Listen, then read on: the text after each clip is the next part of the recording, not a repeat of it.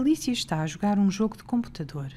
A personagem dela é um mago que lança feitiços com um alcance de 6 metros e está numa demanda para derrotar um feiticeiro malvado e os seus lacaios. A localização dos objetos no jogo está guardada no programa de computador recorrendo a coordenadas X e Y. O ponto 54 é a localização do mago da Alícia. O ponto 87 é a localização do lacaio A. O ponto 1 menos 1 é a localização do lacaio B. E o ponto 90 é a localização do lacaio C. Agora, sabendo que o mago da Alícia tem um alcance de 6 metros, coloquem este vídeo em pausa e tentem descobrir quais destes lacaios é que ela poderá atingir com um feitiço. Muito bem, temos de nos lembrar que para descobrir quais destes lacaios estão ao alcance do mago, temos de pensar, bem, quais destes pontos estão a menos de 6 unidades do ponto 54. Estamos a assumir que estas unidades estão em metros. Quais destes pontos estão a menos de 6 unidades do ponto 54? Para responder a isso, temos de calcular a distância entre este ponto e este ponto, este ponto e este ponto, e entre este ponto e este ponto, e ver se são maiores ou menores do que 6 metros. E como é que calculamos a distância entre dois pontos? Bem, se este aqui for um ponto qualquer, isto é x1, y1, e este for outro ponto aqui, x2, y2, e quisermos calcular a distância aqui, a fórmula da distância sai diretamente do Teorema de Pitágoras. O Teorema de Pitágoras diz-nos que se o comprimento deste lado aqui é a nossa variação em y, aliás vou escrever que é o valor absoluto da nossa variação em y, e vamos dizer que o comprimento deste lado aqui é o valor absoluto da nossa variação em x.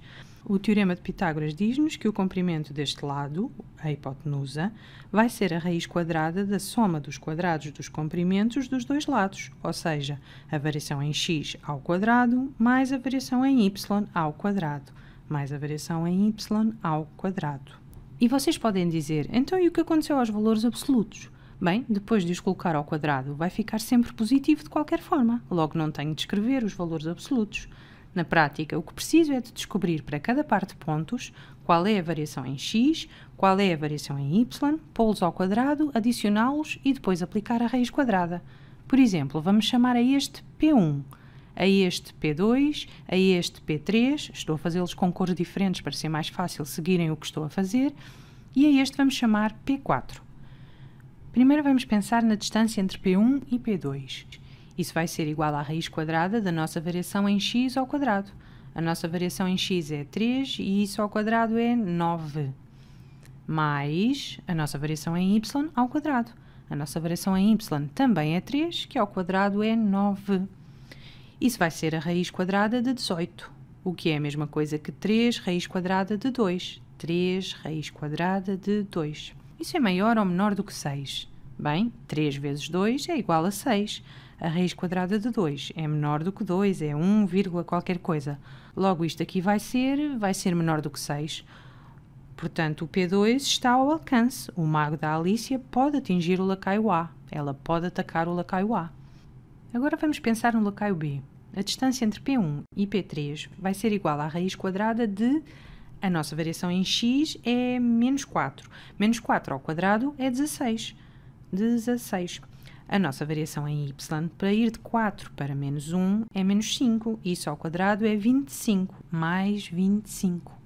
Portanto, 16 mais 25, que é igual à raiz quadrada de 41. Raiz quadrada de 41. Este valor é maior ou menor que 6? Bem, a raiz quadrada de 36 é 6. Esta é a raiz quadrada de um número maior, logo isto vai ser maior do que 6. Portanto, o lacaio B não está ao alcance de um feitiço. Agora vamos pensar neste último ponto.